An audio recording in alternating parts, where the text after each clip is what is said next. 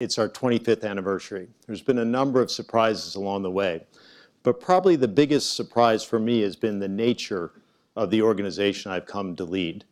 On one hand, we're an investment firm, six or seven different platforms, real estate, credit, impact investing, growth. On the other hand, we're a bit of a new age conglomerate. Over 200 companies in 29 countries, Uh, 12 sectors. If you added them all up, it'd be about $160 billion of revenue. And on the third hand, we're essentially a research organization. Every year, we look at thousands of companies, write tens of thousands of pages of research we call investment memos to make a few investments each year. So if you think about this ecosystem, essentially what it's evolved into is a front seat in the ongoing ebbs and flows of business. So what Jason and the team have asked me to do today is kind of look into that ecosystem and see what it's telling me about the year ahead. If I had to give you one word, one big word, it's change. Never have I seen the level, the breadth, the depth of change. But what's probably most interesting about it is the nature of the change is much different than I expected. I got out of business school, hate to date myself, in 1986. The number one word was Kaizen. It's all about Japanese, the word for continuous improvement. And it was really a Darwinian view of business, a little bit better every day. But those of you who have followed evolutionary biology, if you have, note that Darwin has been proved to be just a little bit wrong. What Darwin said about continuous and constant change has been replaced by a theory with Eldredge and Gould, which is essentially the view that life goes along sort of in an equilibrium, and then from time to time is disturbed with rapid change, only to find another equilibrium. So 95% of all species are found in 5% of the fossil record. One day we have dinosaurs, the next day they're gone. So Gould and Eldredge see change to look like this. The term they use is punctuated equilibrium.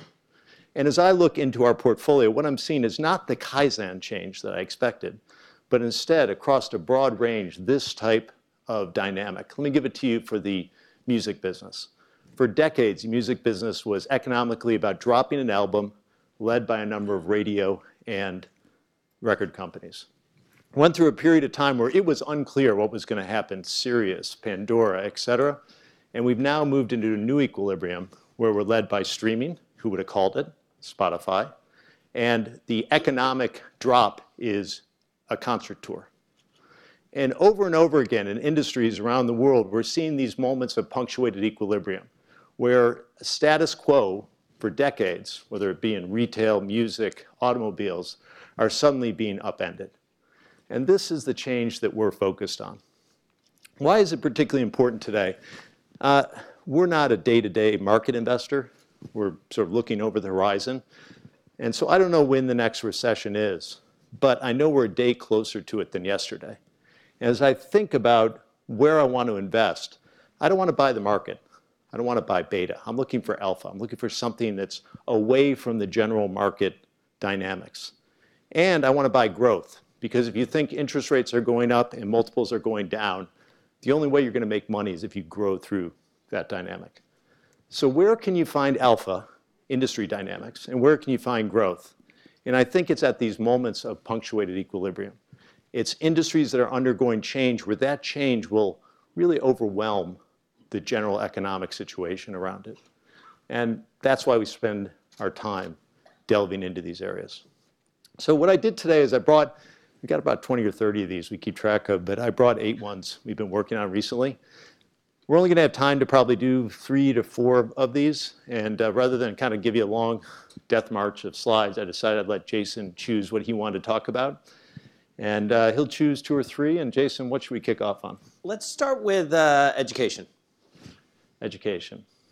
Um, the promise of education investing, I think, has been long unfulfilled. It's been extraordinarily frustrating to invest in education. The first investment I made, second investment I made was actually in a textbook publisher in 1987. And so I've watched this for a long time. And one of the reasons that it's been incredibly frustrating is the educational models move extraordinarily slowly. Business model evolution is glacial. Uh, first business model was basically Plato at the foot of Socrates, great model, doesn't scale. Next business model, you basically, to get education, you had to be celibate and live in a monastery copying documents. Anything called the Dark Ages is not going to get a lot of consumer acceptance. We then moved to basically taking the words and putting them through a printing press which allowed them to spread, but the delivery method was still massively ineffective. Tutors came and lived with you. Oxford and Cambridge topped out with one-on-one teaching. It just didn't scale.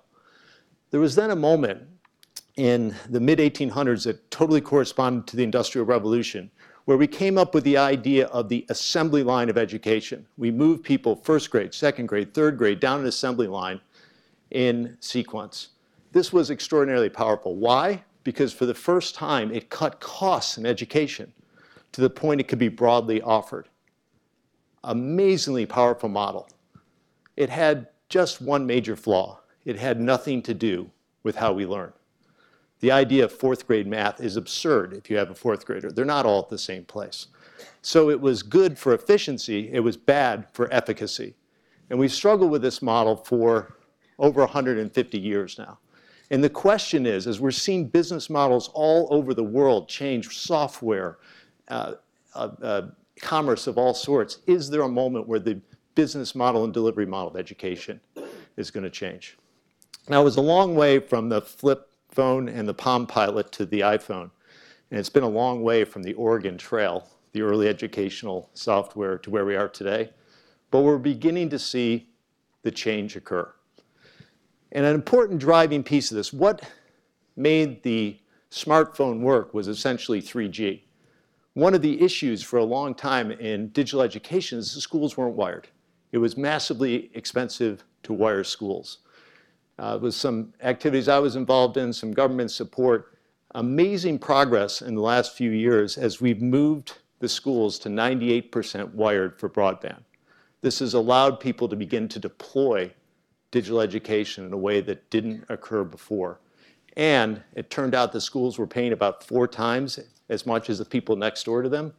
With shining a little bit of light on that, the schools have been able to decrease their cost. So the market's now open.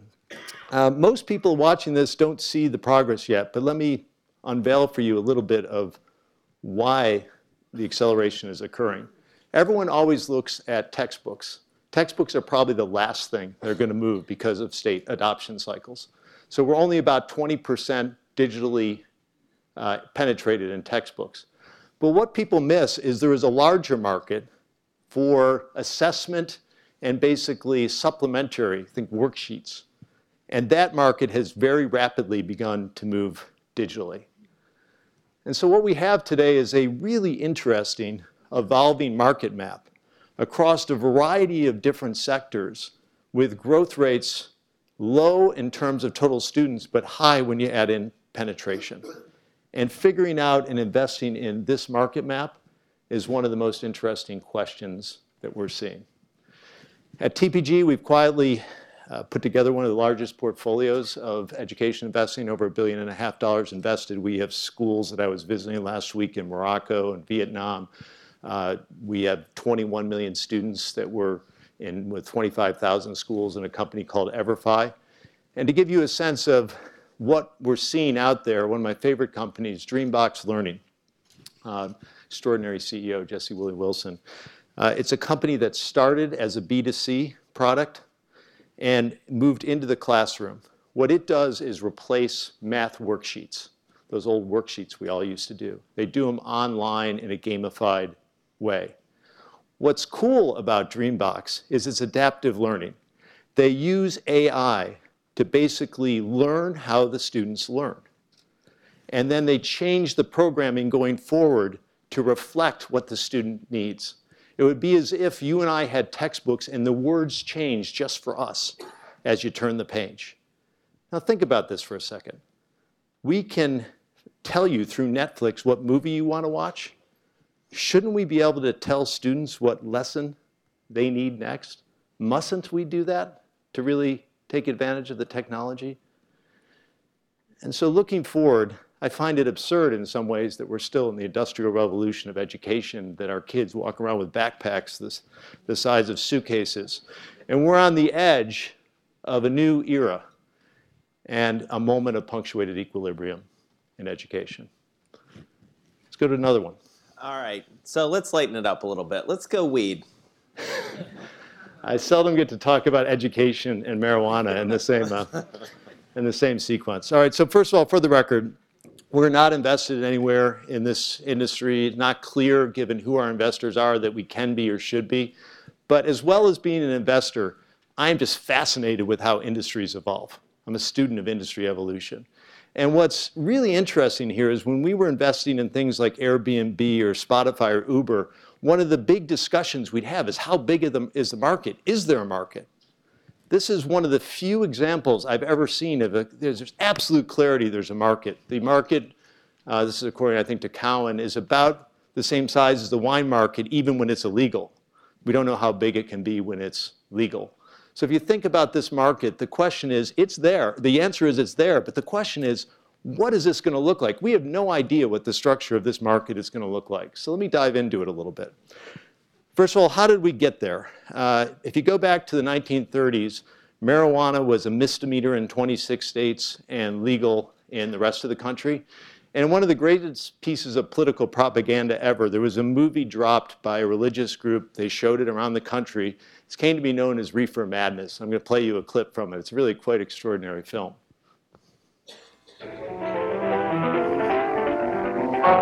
These high school boys and girls are having a hop at the local soda fountain. Innocently, they dance. Innocent of a new and deadly menace lurking behind closed doors. Marijuana, the burning weed with its roots in hell. In this film, you will see the ease with which this vicious plant can be grown in your neighbor's yard, rolled into harmless-looking cigarettes, hidden in an innocent shoe, this is an incredibly effective piece of, of uh, filmmaking because within a year there was a national regulation using almost the exact same words in the film that for the first time put regulation on marijuana. And if it went forward, it continued to get more and more regulated. In 1970, Nixon signed into a law that regulated at a higher level than meth, coke, or uh, fentanyl. But then moods began to change. And I think maybe these two presidential uh, moments capture it best. Uh, Clinton, I experimented, but I didn't inhale it. And Obama, with I inhaled it frequently, that was the point. and today, I was really shocked by these numbers. Today, 65% of the population eh, supports legalization, 85% supports, you can't get 65% of people to support anything. And so we've uh, begun to see a move towards medical marijuana, which over the period since 1996 when it started to today is now in 46 of 50 states. And we've begun a process uh, on the legalization. I think we're in 10 states now. The first two were Colorado and Washington. Now, will it stop here? Uh, gambling is in 24 states. My personal view is it's unlikely to stop here if there's a recession and if the other states get the realization that in California they're going to collect 633 million of taxes this year and in Washington it's 320 million I think and it's substantially more than the taxes they collect on alcohol. So this is a big tax bucket waiting for people to jump on. So how is the industry going to come together? Let me take you through a quick look at some of the questions I would have and are, are totally unworked uh, out at this point. First of all, is it, you know, is it worth anything? Is, is it going to scale? I wasn't sure it was going to scale until I started to see the big players moving in. It's fascinating that Coca-Cola, a drink that started with cocaine, is now talking about a drink with marijuana. It's interesting that uh, Altria, realizing there's an opportunity, $4 billion from constant Constellation Brands. And the, que the question is whether this will be a fourth leg of a wine and spirits company in addition to a, uh, to a, a cigarette company. And we're running an experiment north of the border. As you know, in October 18, Canada legalized marijuana. That's an actual picture of the celebration. You wonder what all that smoke is. Those of you who have followed it recently know that essentially there was a run on the on the system, and they, they've in many states and, and provinces are, are out of marijuana today. They haven't been able to keep up with the demand, and it looks like by 2020 there will be more sales of, of marijuana than the, than there is alcohol in Canada. Think about that. I didn't think anything would push Canadian beer aside. And the Canadian market has opened itself up to companies based in the US that want to float in Canada. So there's 40 plus companies that are on the Canadian Stock Exchange dealing with this industry. The uh, legendary one is Tilray. It went public in uh, July. It's currently a $14 billion market cap on, on $30 million of revenue. So we're having the cryptocurrency of, of, uh, of organics uh, going on north of the border. Then there's some really interesting questions about marketing. We don't even know what we're going to be marketing here. There's THC, there's CBD, there's different plants and strains. Is it going to be joints? Is it going to be brownies? I love this one, chicken wings.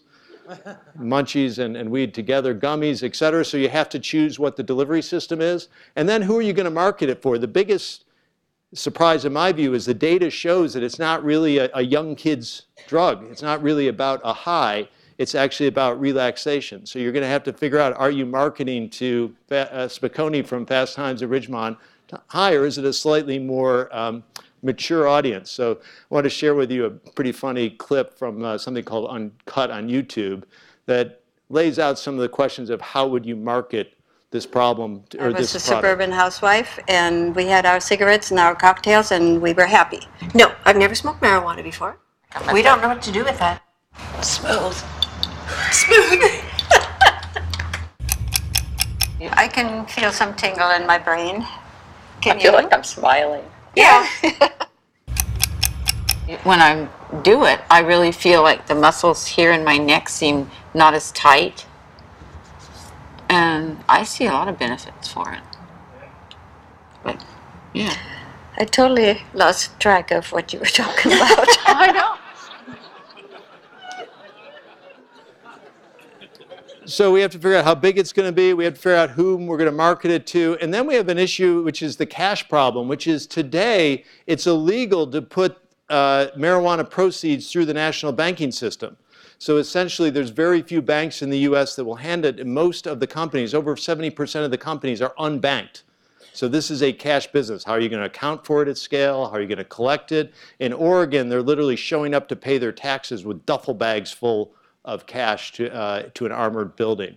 And so it's giving rise to a series of industries to basically create payment systems for the industry. Dash is uh, a cryptocurrency based um, system that does a number of things, but it has shot up in valuation because it has the buzzword trifecta mobile, cannabis, and blockchain. There's CM, CRMs and, and uh, customer management uh, systems, ERP systems for marijuana. So we've got an entire payment system to build.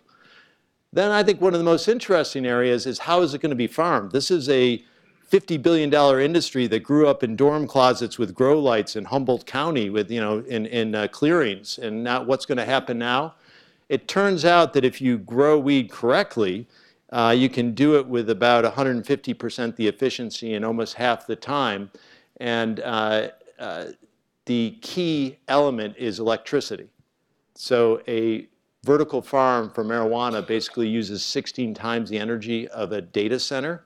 And 4% of the electricity in Denver right now is being used to grow marijuana. So the, the farming aspects of this are going to be interesting. And then how are you going to retail it? Uh, it's a big opportunity. By the best count we could get, there's about three times as many dispensaries now in Denver as there are Starbucks and McDonald's put together. But the rules are going to be complicated. This is a map of San Francisco. San Francisco law basically says you can't have a dispensary within a thousand feet of any place kids are. So there's very few places in the city that you can actually have dispensaries, which of course gives rise, it has San Francisco, to the Uber for weed. And we're having a battle in San Francisco over the delivery system to your house between uh, Speedweed and Eaze. There's billboards everywhere. They're burning huge amounts of cash to, to try to figure out who's going to win in this business. And of course, if there's a retail, there's an upper end. So there are tasting wheels for marijuana with standards being set. There's meal experiences pairing marijuana with various meals. And there is a brand new, I, I thought they were kidding me when our team found this, but there is a brand new uh, career that has been developed. And let me introduce you to Russ. Russ has always done things, including testing in his own way, and has even profiled his own method for testing the quality of the weed. This is what I'm passionate about, and so when I can see that somebody is also passionate because they've produced something like that looks like this, I can't wait. I can't wait to smoke this. Russ is a weed sommelier.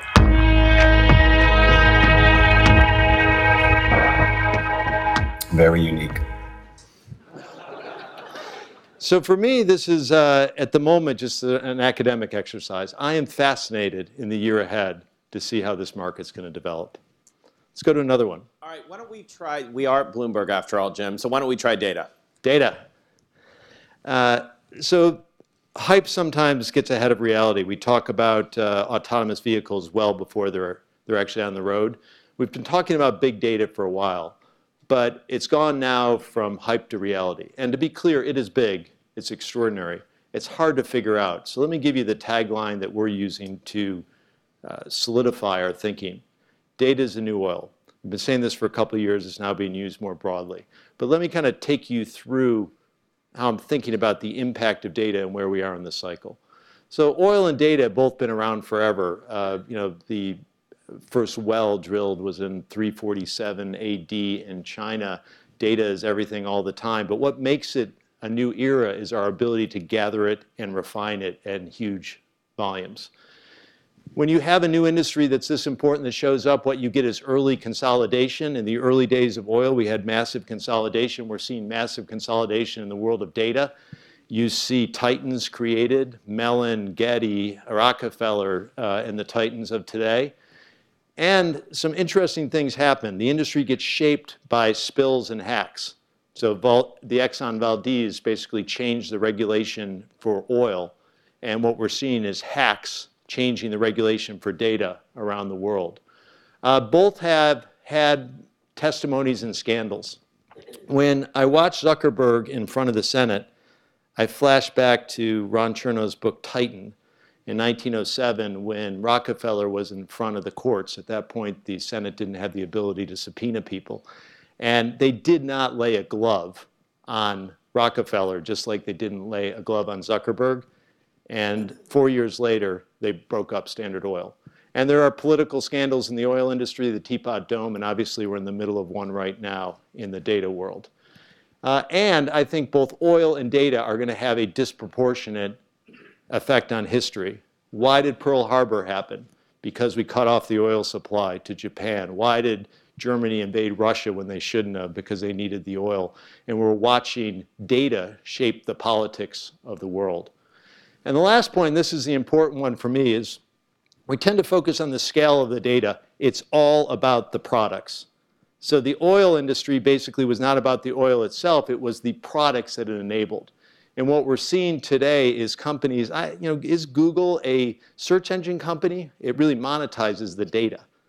Is Facebook a, you know, no, it's, it's a data company. So the idea of data products are going to dominate the years ahead. We're seeing it everywhere. I, I love this. It's also a new job opportunity. You know, in healthcare today, you can take your Fitbit data and get reductions on your healthcare premiums, which has created a whole new job type. There are people now who will take your Fitbit for a walk. I've heard of dog walkers, but Fitbit walkers. Uh, you can now pay for things with data. So there are coffee shops. There's one outside of Bra- uh, Brown where if you will, if the students will give their information, they can get free coffee, and the information is then sold on to uh, uh, to recruiters. J.P. Morgan uh, uses it in Japan, hired 40% of people through these data cafes. And around the world, you're paying for things with data. And I would argue that Facebook, Google, et cetera, these are not free services. You're just paying with a currency that is denominated more differently than, than, differently than you think. You are paying with data. And what is the value of the data? How much are you paying for those services? And do we know? Uh, around our portfolio, there's data everywhere. Spotify now partners with Ancestry, so you can figure out your Ancestry music and play it. Uh, we're doing uh, taxis in Seoul. We're doing, uh, we, we run the metering system here in, so across our companies, thousands of data products popping up. But as we begin to focus on data, the point I would say I'm thinking about a lot is there's a note of caution because society always catches up with a new technology. It often takes 50 years before we have an FAA. We don't have 50 years now. We're going to see society catch up pretty quickly.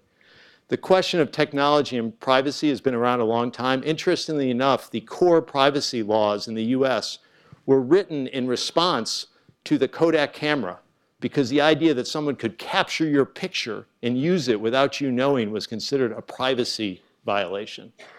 And so there's a lot of interesting looming issues here, all of which we're going to have to figure out in the new world of data.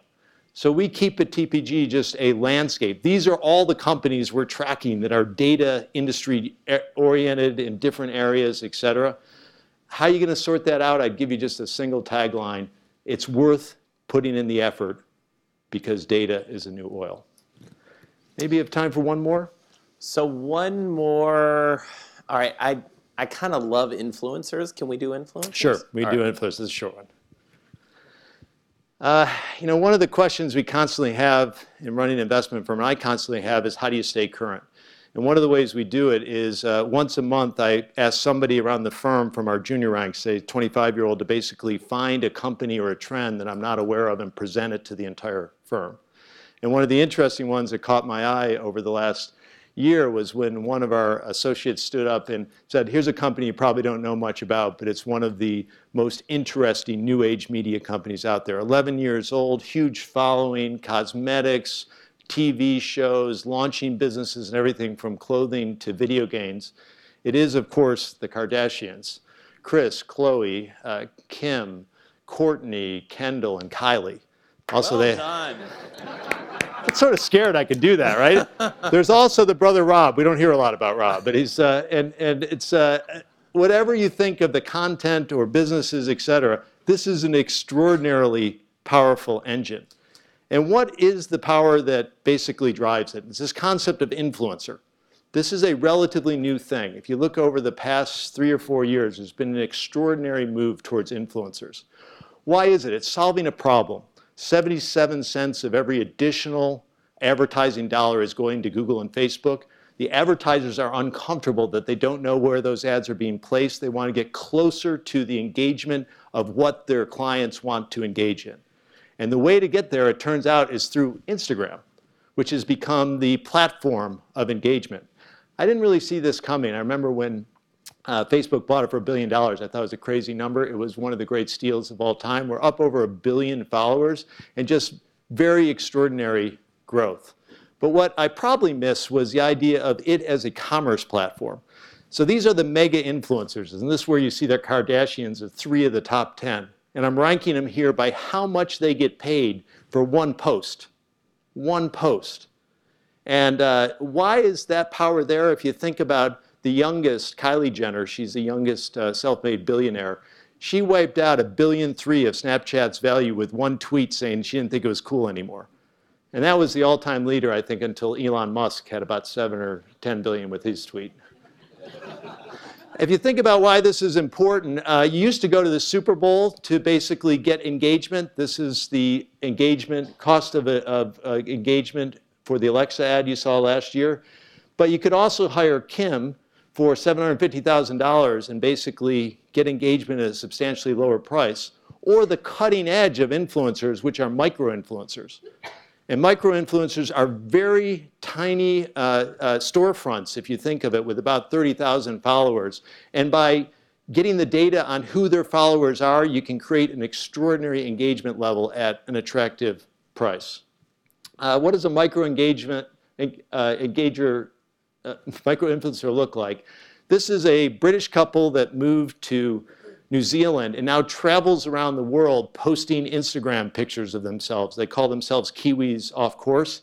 And if you look carefully, there's various hashtags and at signs which you can click through to buy the clothes that they're wearing in the picture.